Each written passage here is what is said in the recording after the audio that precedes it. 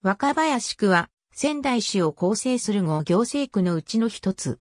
荒町の町並み。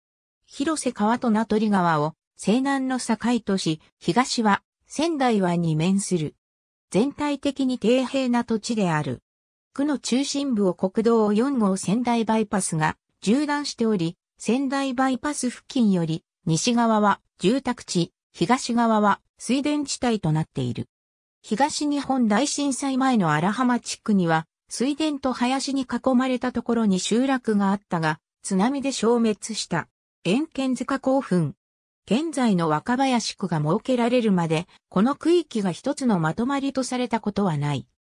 区の生誕は、江戸時代から城下町仙台の一部で、それより東は近郊の農村であった。政令指定都市になるに際し、市の南東部を一個の区として設けたのが若林区である。若林は、伊達政宗が造営した若林城に由来する。区名の工房の1位は東区、2位は南区、3位は広瀬区で若林区は4位であった。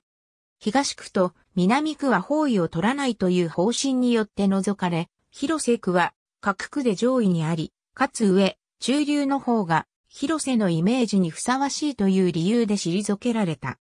若林区役所の周辺には、古墳時代に遠水塚古墳、猫塚古墳、法領塚古墳など多くの古墳が作られた。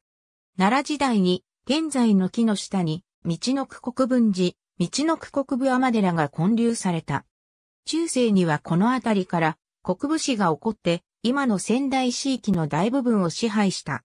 伊達政宗が江戸初期に仙台城下町を築いた際、この付近の人々が現在の国分町に移された。区の下半は宮城郡だが、南部は名取郡に属し、室町時代に阿波野氏が現在の沖の地区に間を構築して、茂ヶ崎城の出城とした。今泉地区にも須田現場の館があったとされる。大白区の郡山地区などと並び、現在の仙台市中心部よりも古い歴史を持つ地域である。区の東半部は水田地帯となっており、稲作が盛んである。また、区の北部には仙台市の流通拠点である卸町地区が位置しており、仙台市中央卸売市場も同地区内にある。卸町や大和町地区に古くから県外金融機関が進出しているのに加え、仙台市地下鉄東西線開通と前後して、六町の目から荒井地区にかけて、県外に本店を置く、金融機関の配置転換や新規参入などが進んでいる。